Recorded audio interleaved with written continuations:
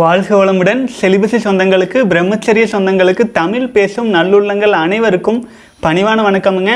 அன்பு சகோதரர்களே இன்றைக்கி வந்து பார்த்தீங்கன்னா வெற்றிகரமாக அறுபத்தி நான்காவது நாள். அதாவது தினம் தினம் பிரம்மச்சரியத்தில் ஸ்ட்ராங்காக இருக்கணும் மன உறுதியோடு இருக்கணும் அப்படிங்கிறதுக்காக டெய்லியும் நம்ம போட்டுட்ருக்குறோங்க டெய்லி டெய்லி ரொம்ப நேரமாயிட்டே இருக்குது. ஆகவே சகோதரர்களே இன்றைக்கி வேக வேகமாக நேற்றும் சில கேள்வி பதில் வந்து பார்க்க முடியாமல் இருந்தது. ஆகவே இன்றைக்கி வேக வேகமாக கேள்வி பதில் பார்த்துடலாம். நெட் காலி சகோதரர் கேட்டிருக்காரு. ஐம்பத்தி நான்கு நாள் கடந்திருக்கீங்க. சூப்பர் சகோதரரே. அண்ணா பிரம்மச்சரியத்தில் தொண்ணூறு நாள் வரை உறுதியாக இருக்க 90 டேஸ் ரீச் பண்ணுற வரைக்கும் இருபத்தி நாலு மணி நேரமும் பிரம்மச்சரியத்தையே நினைத்து கொண்டு இருக்க வேண்டுமா? இல்லை நான் முக்கிய விஷயங்கள் செய்யலாமா? பிகாஸ் மாயா அப்போ அப்போ வந்து எட்டி பார்த்து கொஞ்சம் புரட்டி போட பார்க்குது. நான் அப்படியும் ஸ்ட்ராங்காக தான் அவாய்ட் பண்ணுறேன் பட் கொஞ்சம் பயமாகவும் இருக்குது தொடர்ந்து பிரம்மச்சரியத்தில் நிலைக்கணுமா? நினைக்கணுமேன்னு please give me best suggestion and motivation for this problem அண்ணா. வாழ்க வளமுடன். சகோதரரே இப்போ நம்ம வந்து பிரம்மச்சரியத்தில் போயிட்டுருக்குறோம் அப்படின்னா நம்ம ஆற்றலை விரயம் செய்யாமல் நமக்குள்ளாக வச்சுருக்குறோம் அப்படின்னா என்ன ஆகுதுனாங்க நமக்குள்ள உற்பத்தி ஆகிட்டு இருக்கிற ஆற்றல் இன்னொரு ஆற்றலாக டிரான்ஸ்மியூட்டேஷன் பண்ணுறதுக்கு நாம தான் ஒரு வழியை உருவாக்கி கொடுக்கணும். ஆச்சுங்களா? பிரம்மச்சரியத்தில் உறுதியாக இருக்கணும் அதை பற்றி நினச்சிருக்கணும் அது ஸ்ட்ராங்காக இருக்கணும் முத்திரை பைத்தல் உறுதியாக இருக்கணும் எல்லாம் ஒரு பக்கம். ஆச்சுங்களா? இது என்ன அப்படின்னா ஒரு ஆறு போயிட்டு இருக்குது அப்படின்னா கரைகளை பலப்படுத்துவாங்க. புரிஞ்சுதுங்களா? அது ஊருக்குள்ளே தண்ணி வந்துடக்கூடாதுன்ட்டு கரைகள் ஒட்டி கல்லுகளெல்லாம் போட்டு வைக்கிறது அந்த மாதிரி கரைகளை பலப்படுத்துவது முக்கியம். பிரம்மச்சரியம் அப்படிங்கிற விஷயத்தில் உறுதியாக இருக்கணும்ன்ட்டு முத்திரை பைத்தல் மூலமாக அதே சமயத்தில் இப்போது அந்த ஆறு போகிறதுக்கான பாதையையும் நம்ம உருவாக்கணும் இல்லைங்களா? இப்போ பஸ் அது ஆற்றல் இன்னொரு ஆற்றலாக கன்வர்ஷன் ஆகிறதுக்கு நாம் வழியும் பண்ணி கொடுக்கணும். அந்த வழி சரியாக பண்ணலைன்னா எவ்வளோ ஸ்ட்ராங்காக கரை போட்டாலும் பொங்கி தண்ணி வெளியில் போயிடும் அதுதான் பிரம்மச்சரியத்தில் உறுதியாக இருப்பேன் உறுதியாக இருப்பேன்னு நினச்சிட்டே இருக்கிறது வந்து ஃபிஃப்டி பர்சன்ட் தான்.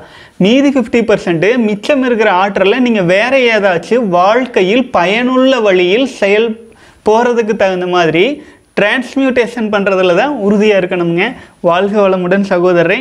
அதுக்கு நீங்கள் சொன்ன மாதிரி வேறு விஷயங்களில் அதாவது தொழிலில் படிப்பில் என்ன செஞ்சிட்ருக்கீங்களோ அதுக்கு முக்கியத்துவம் கொடுத்து செய்யணும். கான்சன்ட்ரேஷன் பண்ணணும். வாழ்க வளமுடன். அடுத்தது ஆதி தமிழன் சகோதரர்கள் சில இளைஞர்கள் தீராத விளையாட்டு பிள்ளையாய் ப்ளே பாய்ஸாக நிறைய பெண்களை கரெக்ட் பண்ணி அவர்களுடன் ரொமான்ஸ் பண்ணிவிட்டு மீண்டும் வேறொரு பெண்ணை கரெக்ட் பண்ண கிளம்பி விடுகிறார்கள். இந்த ப்ளே பாய்ஸ்களை பற்றி உங்கள் கருத்து என்ன? வாழ்க வளமுடன். அவங்கள பார்த்தா பாவமாக இருக்குது. ஏன்னா வீ இவனு ஆ, தன்னுடைய ஆற்றலை வீணாக்குறோம் அப்படிங்கிற அறிவு இல்லாமல் போயிட்டுருக்குறாங்க வேறு என்ன சொல்கிறது சொல்லுங்க பார்க்கலாம். அது வந்து எவ்வளோ பெரிய பலவீனம். தன்னுடைய ஆற்றலை இழந்து வேறு வேறு பெண்களிடம் போயிட்டே இருக்கிறதுங்கிறது அது அந்த ஒரு நாயானது ஒரு எலும்பு துண்டை கடிக்குது. பெண்கள் அப்படிங்கிறது எலும்பு துண்டை எடுத்துக்கிட்டாலும் அந்த எலும்பு துண்டை கடிக்கிற விதவிதமான எலும்பு துண்டுகள் கிடைக்குதுன்னு போய் கடிக்கலாம். ஆனால் அதில் பிளட்டு அதுலேருந்து வராது. நம்ம நாக்கை கடிச்சுக்கிட்டா அந்த நாய்க்கு அந்த பிளட்டை தான் சாப்பிடுதுங்கிற மாதிரி நாய்க்குட்டிக்கு விதவிதமான எலும்பு துண்டு கிடைக்கலாம். ஆனால் வீணாகிறது தவறுடைய எனர்ஜி தான். ஆச்சுங்களா? வாழ்க வளமுடன். வேலைக்கு நீங்கள் சப்போர்ட் செய்வதில்லை. அரசாங்க வேலைக்கு போகலாமா? உங்கள் கருத்தை கூறவும். பிளேபாய் மட்டுமல்ல அவசரப்பட்டு ஏமாந்த அந்த கேர்ள்ஸ் மேலேயும் தவறு இருக்குன்னு போட்டிருக்கீங்க. கமெண்ட்ஸில் போட்டு கேட்டிருக்கீங்க.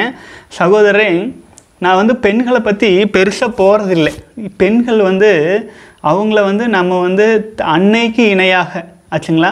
அது இந்த பெண்ணு அந்த பெண்ணு அப்படிங்கிறதெல்லாம் இல்லை. இந்த பூமியில் பிறந்த அனைத்து பெண்களுமே கடவுளுக்கு சமம் அன்னைக்கு நிகரானவர்கள். அவ்வளோதான் அது ஆண்கள் வந்து பார்த்திங்கன்னா தூண்டி தூண்டி தூண்டி தான் அவங்கள வந்து ஒரு தவறான பாதைக்கு இழுத்துட்டு போகிறாங்க சில பெண்கள் விதிவிலக்கு தானாக போய் விழறாங்க அவங்கள பற்றி நம்ம ஒன்றும் சொல்ல முடியாது. பெண்கள் உஷாராக இருந்துக்கணும். அது வந்து அவங்களுடைய அது இயல்பாகவே அவங்கக்கிட்ட இருக்குது இயல்பை மீறி வெளியில் வர்றவங்க வாழ்க்கை சிறை சிதையும் அதுக்கு தகுந்த மாதிரி நான் ஏற்கனவே ஒரு வீடியோ போட்டிருப்பேனுங்க. ஒரு பெண் தன்னுடைய வாழ்வில் ஒருவனை தவிர்த்து இரண்டாவது மூணாவது உயிரணுக்களை உடலில் வாங்கி கொண்டால் ஆச்சுங்களா? அவங்க வந்து பார்த்திங்கன்னா அது ரொம்ப பாவம். அவங்களால வந்து ஒரு அமைதியான வாழ்க்கை வாழவே முடியாது. அந்த வாழ்க்கை அந்த பெண்ணுக்கு வாழ்க்கை முடிஞ்சிடும் ஏன்னா எப்படி ரத்தத்தில் வேற வேறு பிளட் குரூப் இருக்குதோ அது போலவே நம்முடைய உயிர் அணுக்களிலுமே வேறு பூர்வீக உயிரணுக்கள் தானே? அது பெண்ணின் இனப்பெருக்கு உறுப்பில் மா வேறு வேறு உயிரணுக்கள் நிறைஞ்சா அங்கே அரிப்பாயிரும். அப்புறம் அந்த பெண் ஒழுக்கமாக வாழ்கிறதே கஷ்டமாக மாறிடும் அது ரொம்ப கஷ்டமான வாழ்க்கைங்க. அது சம்மந்தமாக குரு வேதாத்ரி மகரிஷியும் தெளிவாக சொல்லியிருப்பார். அது பற்றி நானே தனி வீடியோ. நீங்கள் கொஞ்சம் சர்ச் பண்ணி பாருங்கள் நிறையா வியூஸ் போன வீடியோஸில் அதுவும் ஒன்று நம்ம சேனலில் அடுத்தது வந்து பார்த்தீங்கன்னா வேலைக்கு நம்ம எப்பவுமே சப்போர்ட் பண்ணுறது இல்லை. ஏன்னா வேலை அப்படிங்கிறது வந்து ஒரு அடிமைத்தன்மை அடிமைத்தன்மையை உருவாக்கி வச்சிருக்கு. நம்முடைய தேசத்தில் முதல்ல வந்து பார்த்தீங்கன்னா ஒரு மகாத்மா காந்தி சுதந்திரம் வாங்கி கொடுக்கும்போது என்ன சொன்னாருங்க? கிராம ராஜ்யம் ஆகணும்னு சொன்னார். கிராம ராஜ்யம் அப்படின்னா ஒவ்வொரு கிராமமும் தன்னளவில் முழுமை பெற்று இருக்கணும் அப்படின்ட்டு. சரி ஒரு கிராமம் அந்த கிராமத்தில் ஒரு ஐநூறு பேர் இருக்காங்கன்னா ஐநூறு பேர் தன்னளவில் முழுமை பெறது அப்படின்னா ஐநூறு பேரில் பாதி பெண்கள். பாதி பெண்களுக்கு தன் குடும்ப வேலை அளவாக இருக்கும். பாதி பேர் ஆண்கள். பாதி பேர் ஆண்களுக்கு அதில் வந்து பார்த்திங்கன்னா ஒரு ஒரு நூறு பேர் விவசாயம். ஒரு ஒரு பத்து பேர் வந்து பார்த்திங்கன்னா வேறு வேறு தொழில் கட்டடத்து வேலை. இன்னொரு அஞ்சாறு பேர் வந்து இந்த வேலை அப்புறம் நாசுவர் அதாவது சேவிங் பண்ணுற வேலை. ஒவ்வொரு வேலை இருக்கும் இல்லைங்களா? அந்த மாதிரி ஒரு கிராமம்னு இருந்தால் அதிலிருந்து எல்லோரும் பெரும்பாலும் பெரும்பாலும் வந்து பார்த்தீங்க அப்படின்னா ஒரு சுய தொழில் அப்படிங்கிறது அதிகமாக செய்வதற்கான வாய்ப்புகளோடு மளிகை கடை வச்சுட்டு ஒரு குடும்பம். அப்புறம் எல்லாத்துலேயுமே ஒரு ஒரு கால்குலேட் பண்ணி பார்த்தா அந்த ஊருக்குள்ளே பாதி பேர் சுயதொழில் செய்வாங்க. பாதி பேர் ஏற்கனவே தொழில் செஞ்சிட்ருக்கிறவங்கக்கிட்ட கிட்ட வேலை கற்றுக்கொள்வதற்காகவோ அல்லது பொருள் வே பொருளாதார சூழல் காரணமாக பணிக்கு வர்றவங்களா இருக்கலாம். அது ஒரு சில பேர் தான். ஆனால் பெரும்பாலும் அவங்களும் வேலை கற்றுக்கிட்டு போய் சொந்தமாக தொடங்கலான்னு தான் வேலைக்கே வருவாங்க. அது போன்ற ஒரு கட்டமைப்பு. ஆனால் இப்போ என்ன ஆயிடுச்சுன்னு பார்த்தீங்கன்னா ஒட்டுமொத்த ஒரு ஒரே ஒரு தொழில்னு எடுத்துட்டால் அது அனைத்தும் ஒரே நிறுவனம் கைப்பற்றிக்கிறது. அப்போது அந்த ஒரே நிறுவனத்துக்கு கீழே எல்லாம் அடிமைகளாட்ட வேலை செய்கிறது வேலைக்கு போய் ஆகணும் அப்படிங்கிறது. அப்போது யாருக்காச்சும் அந்த சுதந்திரம் இருக்குமா? நான் எத்தனை நாடு நான் போயிட்டேனுங்க. எந்தெந்த வேலைக்கு போயிட்டேன் எந்த வேலையிலையும் சாட்டிஸ்ஃபேக்ஷன் கிடைக்கல. சுயமாக தொழில் செய்யும்போது மட்டும்தான் ந மன நிம்மதியும் மன நிறைவும் கிடச்சிது. அப்புறம் வந்து பார்த்திங்கன்னா அந்த சுயமாக தொழில் செய்யணும் அப்படிங்கிறதுக்கான வாய்ப்பை எந்த அரசாங்கம் மக்களுக்கு உருவாக்கி கொடுக்குதோ அந்த அரசாங்கம் தான் நல்ல அரசுன்னு என்னை பொறுத்த வரைக்கும். வேலை வாய்ப்பு உருவாக்குறேன் வேலை வாய்ப்பு உருவாக்குறேன்னு எல்லாரையும் அடிமைகள் உருவாக்குறேன் கல்வி முறையே அடிமைகளை உருவாக்குவதற்கான கல்வி முறை. யோசிச்சு பாருங்கள் நாய் ட்ரைனிங் பார்த்துருப்போம் இல்லைங்களா? Dog training centre. Sit stand sit stand run stand at ease attention எல்லாம் ட்ரைனிங் கொடுக்குறாங்க. பள்ளியில் குழந்தைகளுக்கு என்ன பண்ணுறாங்க அதனோட இயல்பில் விட்றதில்ல. Sit down stand at ease sit down stand at ease left right march மனுஷனா மிருகமா? இல்லை என்ன? ரோபோட்டா மனிதர்களை இயல்பாக குழந்தைகள் இயல்பாக வளர்றதெல்லாம் விட்டு ஒரு ரொபோட்டிக்ஸ் மாதிரி அடிமைகள் அடிமைத்தனமாக குழ எல்லாம் ஒரே மாதிரி ட்ரெஸ்ஸை போடு ஒரே மாதிரியே இரு ஒரே மாதிரியே சாப்பிடு இப்படி எல்லாம் பண்ணு. அது ரோபோட் மாதிரி தானே. ஒரு ஒரு மெஷினரிஸுக்கு சொல்லி கொடுக்குற கல்வி முறையாட்ட ஆகிப்போச்சு இல்லைங்களா?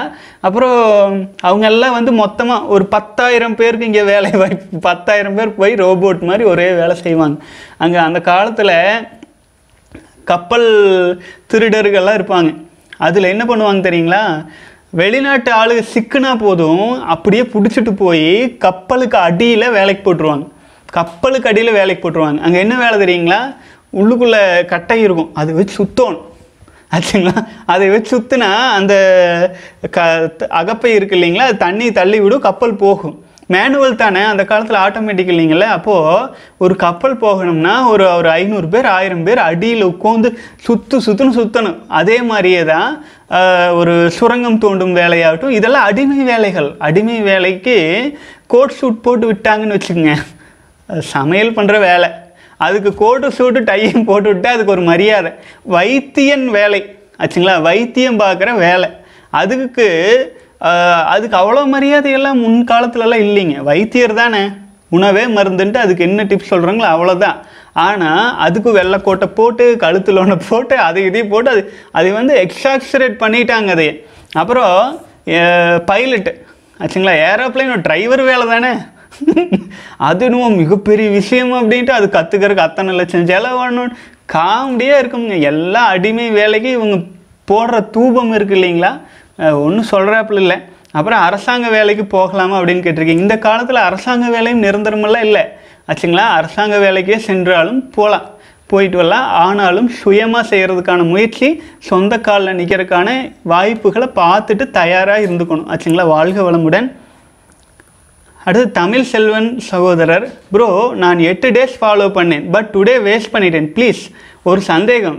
நோ ஃபேப்பில் இருந்தால் உடல் உறவு கொண்ட விந்து உடல் உறவு கொண்டா விந்து வராதுன்னு சொல்கிறாங்க ப்ளீஸ் ஹெல்ப் மீ ப்ரோ என்னால் உடல் உறவு கொள்ளும்போது விந்து வராதா? நீங்கள் எட்டு நாள் தானே இருந்தீங்க.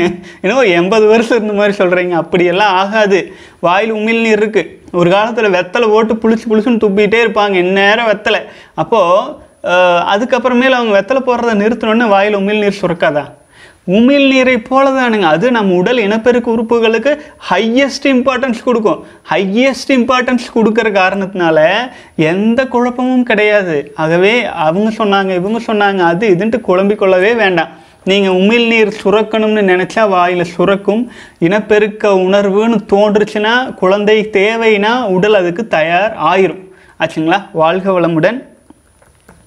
அது ராஜா சகோதரர் வாட் இஸ் தி கரெக்ட் பிரம்ம முகூர்த்தம் time I see Isha Sadhguru say மூணு இருபது டு மூணு நாற்பது அண்ட் கூகுள் சர்ச் சேஸ் நாலு முப்பதுலேருந்து அஞ்சு முப்பது some people says before twenty minutes of sunrise Sandhya காலம் அதெல்லாம் இல்லைங்க.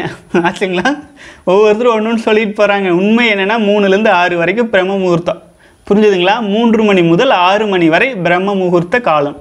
ஏ அது சொல்கிறாங்க இது சொல்கிறாங்க அதில் எக்ஸ்ட்ரீம் காலம் இது இதில் எக்ஸ்ட்ரீம் காலம் எல்லாம் ஒன்றும் இல்லைங்க.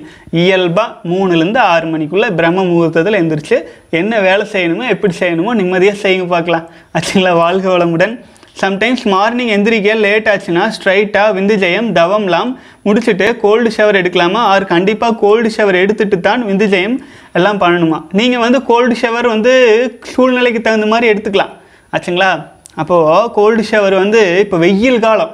காலையில் எழுந்திரிச்சோன்னே கோல்டு ஷவர் பண்ணால் நல்லது தான் உங்கள் உடல் வந்து சரி அப்புறம் பண்ணிக்கலாம்னு சொல்லிச்சுன்னா பரவாயில்ல தவறு இல்லை ஆச்சுங்களா? ஆனால் கோல்டு ஷவர் கண்டிப்பாக பண்ணிடுங்க இது வெப்பம். ஹீட்டு கிளைமேட் பயங்கர ஹீட்டாக இருக்குது இந்த ஹீட்டே நமக்கு வந்து பார்த்தீங்கன்னா இனப்பெருக்க செயல்பாடுகளுக்கு தூண்டும் விதத்தில் இருக்கும். பலர் சொல்லுவாங்க குளிராக இருந்தால் தான். அப்படி இல்லை. பாடி ஹீட் ஆச்சுன்னா உயிரணுக்களை வெளித்தள்ளுறதுக்கு முயற்சி பண்ணும். ஆகவே எல்லாம் உஷாராக இருந்துக்கணும் சகோதரர்களே. வாழ்க வளமுடன். அடுத்தது கிஷோர் சகோதரர். ஆனால் ஐம்பத்தி அஞ்சு டேஸு ஒரு சந்தேகம். பிரம்மச்சரியத்தில் இருந்தால் உடல் எடை அதிகரிக்குமா? தியானம் செய்தால் உடல் குறையும்னு உடம்பு குறையும்னு அப்பா சொன்னாங்க. இரண்டையும் கொஞ்சம் விரிவாக சொல்லுங்கள் அப்புறம் சில நாட்கள் பகலில் தூக்கம் வருது. இது வரைக்கும் நான் பகலில் எப்போவாவது தான் தூங்கியிருக்கேன். இதுக்கும் பிரம்மச்சரியத்துக்கும் த சம்மந்தம் இருக்க சொல்லுங்கன்னா வாழ்க வளமுடன். சகோதரரே பகலில் இரவில் நல்ல உறக்கம் வருது அப்படின்னா உறங்குங்க. பகலில் வந்து இரவு உறங்காததுனால பகலில் உறக்கம் வருது அப்படின்னா முடிஞ்ச அளவுக்கு பகல் உறக்கத்தை தவிர்க்கறதுக்கு முயற்சி பண்ணுங்கள் ஆனால் உடல் ரொம்ப டயர்டாக இருக்குது உறக்கம் வேணும்னு கேட்குதுன்னா நீங்கள் உறங்கி எந்திரிச்சீங்கன்னா அந்த அன்னைக்கு நைட்டு நல்லா தூங்க முடியுதான்னு பாருங்கள் ஆச்சுங்களா? அப்போது பகலில் தூங்கி எந்திரிச்சாலுமே நைட்டும் தூங்க முடியுது அப்படின்னா அப்போ உடலுக்கு அந்த உறக்கம் தேவைப்படுது. பகலில் தூங்கி எந்திரிச்சோன்னே இரவு தூக்கமே வரல அப்படின்னா இது போலி தூக்கம். பகலில் தூங்குறத விட்டுருங்க. அடுத்தது த- பிரம்மச்சரியத்தில் இருந்தால் உடல் வந்து அதிகரிக்கும். உடல் எடை அதிகரிக்கும். அப்புறம் நம்ம உடல் வந்து நமக்கு எவ்வளவு எடை தேவையோ அந்த அளவுக்கு நிச்சயமாக அதிகரிக்கும். அதில் எந்த மாற்று கருத்துமே இல்லைங்க. தியானம் செஞ்சால் உடல் குறையும்னு சொல்கிறது தவறு. அதுங்களா வாழ்க்கை வளமுடன். அது யாரோ தவறாக அவங்க அப்பாவுக்கு சொல்லி கொடுத்துருப்பாங்க. அந்த மாதிரி கிடையாது. இன்னொன்று பார்த்தீங்கன்னா நாங்கள் இப்போது கிராமத்தில் இருக்கிறோம். இப்போ இங்கே பார்த்தீங்கன்னா விவசாய நிலங்களில் வண்டி மாடு இழுக்கும் மாடுகளுக்கெல்லாம் காய் அடித்து விடுவாங்க. காய் அடிக்கணும் என்ன? இனப்பெருக்க பாகத்தில் அது இனப்பெருக்க செயல்பாடு செய்யாத அளவுக்கு அதை வந்து மேனுவலாகவே பண்ணி விட்டுருவாங்க. அப்படி பண்ணி விட்டால் அந்த மாடு எவ்வளவு வெயிட்டை வேணாலும் இழுத்துட்டு போகும். கொஞ்சம் வைக்கிப்போல் சாப்பிட்டு. புரிஞ்சுதுங்களா? அது போலவே நாமுமே வந்து பார்த்திங்கன்னா பிரம்மச்சரியத்தில் ஸ்ட்ராங்காக இருக்கும்போது கொஞ்சமாக சாப்பிட்டா கூட உடல் எடை குறையாது. கொஞ்சமாக சாப்பிட்டா போதும் நம்ம உடல் எப்போதும் இருக்கிற மாதிரியே இருக்கும். ஏன்னா ஆற்றல் விரயம் ஆகவில்லை. அதனால எப்போவுமே வலிமையாகவே தான் இருக்குமுங்க. வாழ்க வளமுடன். அடுத்தது புலிக்குட்டி சகோதரர் சகோதரர் கேட்டிருக்காரு. ஐயா என் நண்பர்கள் சுய இன்பம் செய்பவர்கள். அவர்கள் கலகலப்பாக இருக்கிறார்கள். நான் பிரம்மச்சரியம் இருந்தும் சோம்பேறியாக இருக்கிறேன். முன்பு இருந்ததுக்கு இப்போ முன்னேறி இருக்கிறான். அப்படிங்கிறீங்க. வாழ்க வளமுடன். அதாவது சகோதரரே நீங்கள் நண்பர்கள் வந்து சுய இன்பம் பண்ணுறாங்க கலகலப்பாக இருக்காங்க. நீங்கள் பிரம்மச்சரியத்தில் இருக்கீங்கன்னா உங்களுக்கு ஃப்ளாட் லைனாக இருக்கலாம். உடல் அளவிலான ஃப்ளாட் லைன் மன அளவிலான ஃப்ளாட் லைன் கூட வர்றதுக்கு வாய்ப்பு இருக்குதுங்க. ஆகவே இதை பற்றியெல்லாம் நீங்கள் கவலைப்படாதீங்க. இதுக்கு நீங்கள் என்ன பண்ணலாம் தெரியுங்களா? ஒரு சின்ன டிப்ஸ் நீங்கள் கலகலப்பாக இருக்கும்னா முத்திரை பொய்த்தல் போடுவீங்கள அதில் சொல்லிடுங்க நான் எப்போதும் சந்தோஷமாக கலகலப்பாக ஆக்டிவாக இருப்பேன் அப்படின்ட்டு ஒரு நூ ஒரு நாற்பத்தி எட்டு முறை முத்திரை பொய்த்தல் சொல்லிவிட்டு உங்கள் காந்த ஆற்றலை டியூன் பண்ணி விட்டீங்கன்னு வைங்க. ஆட்டோமேட்டிக்காக அந்த உற்சாகம் வந்துடும் உங்களுக்கு. சரிங்களா? நம்மக்கிட்ட ஃப்ரீக்குவன்சி ட்ரான்ஸ் சேஞ்ச் பண்ணுற வேலை மட்டும்தான்.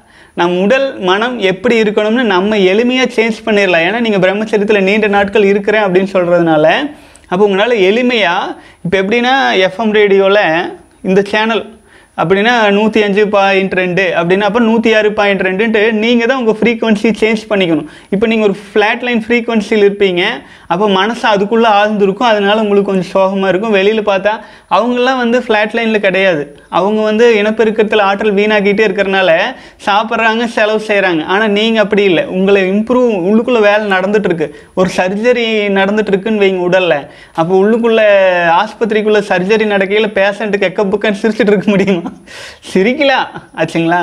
இருந்தாலும் அது கொஞ்சம் வெளியில் இருக்கிறவங்களுக்கு வந்து பார்த்தா அன்ஈஸியாக இருக்கும். அந்த மாதிரி தான் நமக்கு தெரியும் நம்ம பிரம்மச்சரியத்தில் இருக்கோம் உடல் சீராயிட்டு இருக்கு ஃப்ளாட் லைன்லாம் வந்துட்டு இருக்குன்னு. வெளியில் இருக்கிறவங்க அதெல்லாம் இல்லை. அதனால அவங்க அப்படி இருப்பாங்க. அது பெருசாக எடுத்துக்காதீங்க. நீங்கள் ஸ்ட்ராங்காக இருங்க. அண்ணா நீங்கள் நம் முன்னோர்கள் உயிர் உடலை விட்டு பிரிந்த பின் அடுத்த வாரிசுக்கோ ஒத்த பதிவுள்ளவரிடமோ சேர்ந்து கொள்ளும் என்பதாக சொன்னீர்கள். மகிழ்ச்சி ஐயா மற்றும் சித்தர்கள் இதனை கூறியிருக்கிறார்கள். அப்படியானால் நமது விந்துவில் உள்ள உயிரணுக்கள் வீணாகும் போது எங்கே செல்லும்? அது ஒத்த பதிவு. நாம் தான் நம்மிடமே சேர்ந்து விடுமா? வாழ்க வளமுடன். அது நம்மோடே சேர்ந்துடணும்னு தானுங்க பிரம்மச்சரியத்தில் நிலைக்க சொல்றோம். நம்மோடே சேர்ந்துருச்சுன்னா நமக்கும் ஆற்றல் வரும். நம்மோடு நம்மோடு உற்பத்தியான உயிரணுக்கள் நம்மோடே ஐக்கியமாகி நம்மோடே சேர்ந்து முக்தியும் அடைஞ்சிரும். ஆனால் அதை நாம் வெளியில் விடும்போது என்ன ஆகுன்னா நம்ம வதைக்கிறோம் அதையே. புரிஞ்சுதுங்களா? நம்முடைய வாரிசுகளை நாமளே வெளியேற்றி அதை சிதைக்கிறோம். அதுதான் பிரம்மஹத்தி தோஷத்திற்கு இணையான தோஷம். வந்து சேரும்னு நம்ம சொல்கிறோம் ஏன்னா அந்த உயிர் நம்மிடம் உற்பத்தியான உயிர் அணுக்கள் முக்தி அடைவதற்கான வழியை நாம் அடைச்சிடுறோம். என்ன காரணம்? அந்த சிறு இன்பத்துக்காக சிற்று இன்பத்துக்காக நம்ம வாரிசுகளை நம்ம அழிக்கிறோம்.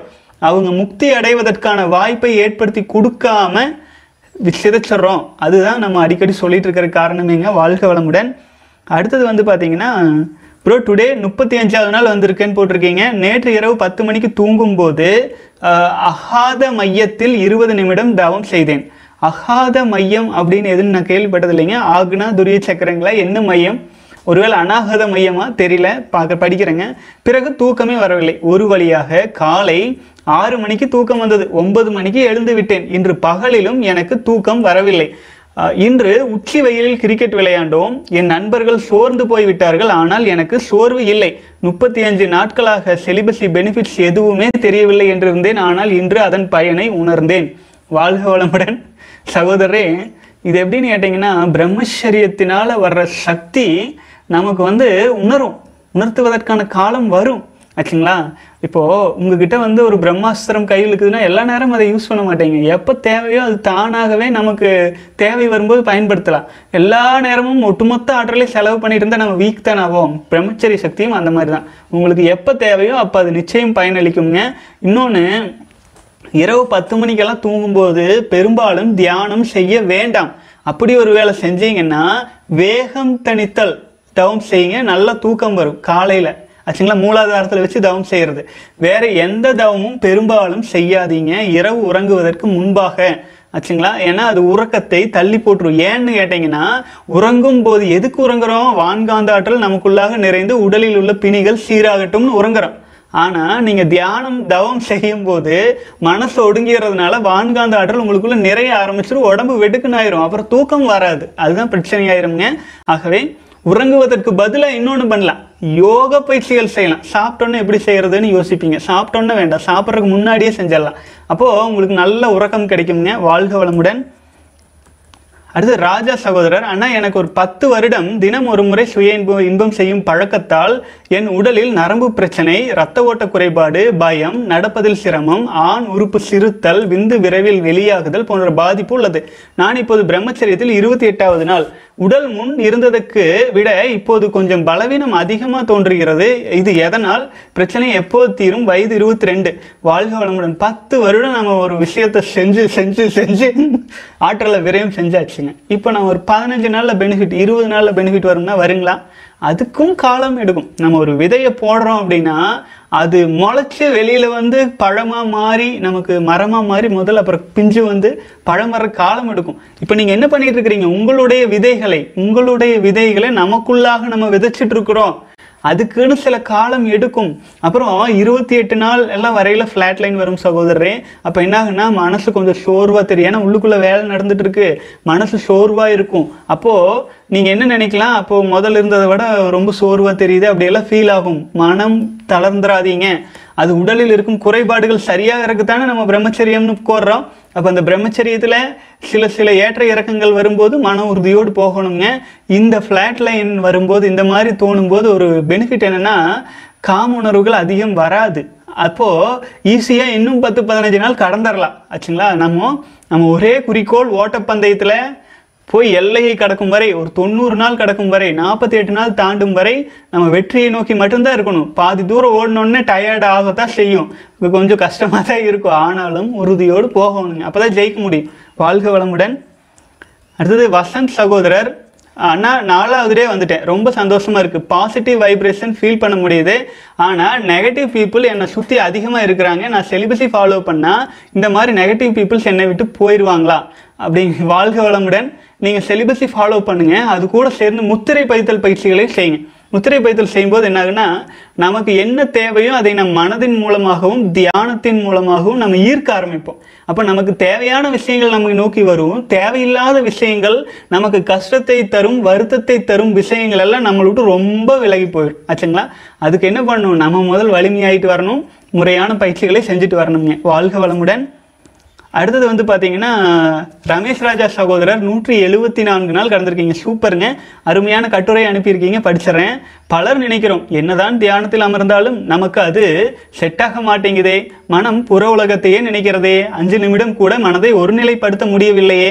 பிறர் நிலங்களிலே புல் மேய்ந்து பழக்கப்பட்ட திருட்டுத்தனமான மாடு நம் இடத்திலே போதிய பு- நல்ல புட்கள் கிடைத்தாலும் பழக்கவசத்தால் வெளியே ஓடுவதை விட்டுவிடாது.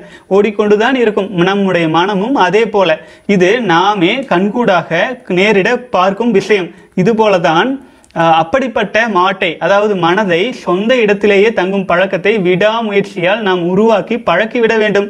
அவ்வாறு பழக்கப்படுத்தி விட்டால் எதேச்சையாக விட்டாலும் திருட்டு மேய்ச்சலுக்கு போகாது. மனிதன் ஒரு விஷயமும் அவ்வா மனிதன் விஷயமும் அவ்வாறே. தேடும் மனம் இன்பம் தனக்குள்ளே என்று உணர்ந்த மனித மனம் வெளியே அற்ப இன்பத்தை நோக்கி ஓடாது. சிந்திப்போம் நண்பர்களே வாழ்க வளமுடன். உண்மைதானுங்க எந்த ஒரு இன்பமும் வெளியிலிருந்து நமக்கு கிடைக்கிறது இல்லை இன்பங்கள் நமக்கு நமக்குள்ளாக இருந்து மட்டும்தான் கிடைக்குது. வெளியுள்ள வெளி உலக விஷயங்கள் நமக்கு தூண்டுதல்கள் தான். அந்த தூண்டுதல்களில் மயங்கி வெளி இன்பத்துக்கு மயங்கி நம்ம போகும்போது லாக் ஆயிடுறோம். குடும்ப சூழ்நிலையிலும் பல்வேறு பிரச்சனைகளையும் நம்ம லாக் ஆகிக்கிறோம். அது நம்ம பத்து வருஷம் பதினஞ்சு வருஷம் படாத பாடுபடுத்தி ஆச்சுங்களா வாழ்க்கை சொல்கிறேன் அவ்வளோ சீரல் என்ன எல்லாம் எதுக்கு? அந்த ஒரு நிமிட இன்பத்துக்கு மயங்கினதுக்கு இந்த தண்டனையை நான் ஆண்டவன் கொடுக்கறது. புரிஞ்சுக்கணும் சகோதரர்களே வாழ்க வளமுடன். அடுத்தது வந்து பூபதி சகோதரர். இன்னைக்கு இதோட க்ளோஸ் பண்ணிக்கலாமுங்க. அண்ணா நீங்கள் மட்டும் வீடியோ போடாமல் நோ ஃபேப் ஃபாலோ பண்ணுறவங்களோ அல்ல எக்ஸ்பீரியன்ஸ் அண்ட் பெனிஃபிட்ஸ் பற்றி இன்டர்வியூ மாதிரி ஒரு நியூஸ் சீரீஸ் ஸ்டார்ட் பண்ணுங்க. நிறைய பேர் சொன்னால் கண்டிப்பாக நாம் எல்லாம் பண்ண முடியும்னு கான்ஃபிடென்ட் வரும். வீடியோ இன்டர்வியூ இல்லாட்டி ஆடியோ இன்டர்வியூஸ் கூட எடுத்து போடுங்க. வாழ்க வளமுடன் சகோதரரே. எனக்கும் அந்த மாதிரி ஒரு யோசனை இருக்குதுங்க. அப்புறம் சகோதரர்களுக்கு நான் அதை விட்டுறேன். சகோதரர்கள் எங்கூட அதாவது டெய்லி நான் வந்து பார்த்திங்கன்னா பெரும்பாலும் இந்த மொபைல் கேட்ஜெட்ஸ் அதிகமாக யூஸ் பண்ணுறது இல்லைங்க. பண்ணுறதுக்கு விரும்புகிறதும் இல்லை.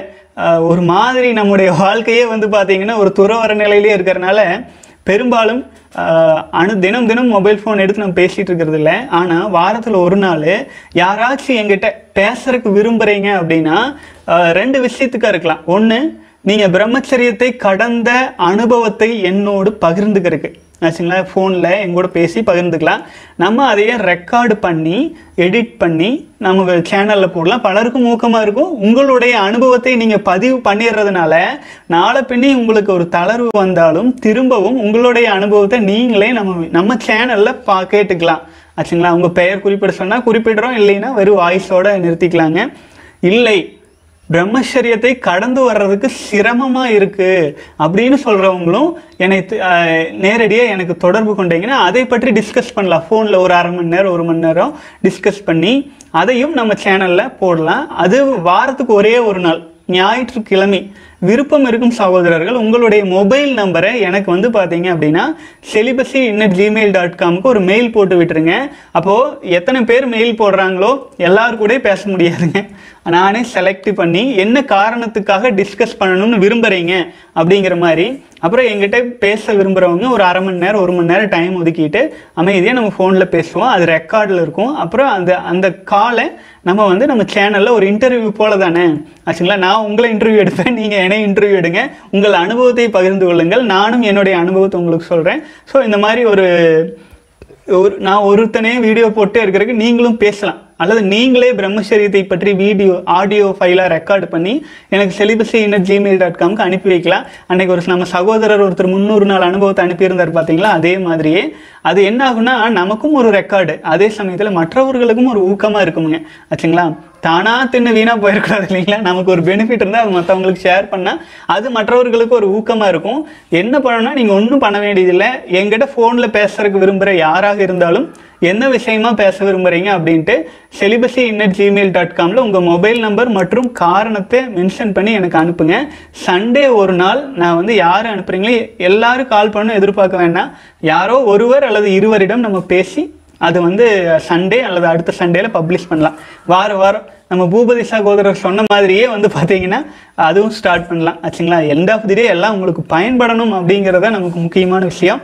தொடர்ந்து பயணிக்கலாம் சகோதரர்களே. அப்புறம் பாட்காஸ்ட் விஷயங்களும் விரைவில் முடிஞ்சிடும் அப்புறம் அது வந்து celibacy dot in slash podcast அப்படின்னு உள்ளே போனீங்கன்னா பார்க்கலாம். இப்போவே கிட்டத்தட்ட முந்நூறு மணி நேரத்துக்கு மேலான ஆடியோ ஃபைல்ஸ் எல்லாம் சேர்த்தியாச்சு.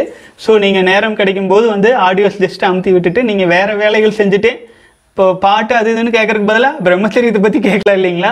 ஸோ அந்த மாதிரி ரெக்கார்டு பண்ணதாகவும் நீங்கள் கேட்டுக்கலாம். நம்ம வெப்சைட்லேயே இருக்குது மிக விரைவில் கம்ப்ளீட்டாக இப்போ இன்றைக்கி நான் ரிலீஸ் பண்ணுற வீடியோ நாளைக்கு பாட்காஸ்ட்டில் ஆடியோ ஃபைலாகவும் வந்துடும் ஸோ இதனால் ஆடியோ கேட்குறவங்களும் கேட்டுக்கலாம். வீடியோ யூடியூப்பில் பார்க்குறவங்களும் பார்த்துக்கலாம் வாழ்க வளமுடன் சகோதரர்களே. மீண்டும் நாளைய தினம் இன்னும் ஒரு சிறப்பான வீடியோவில் சந்திக்கலாம்.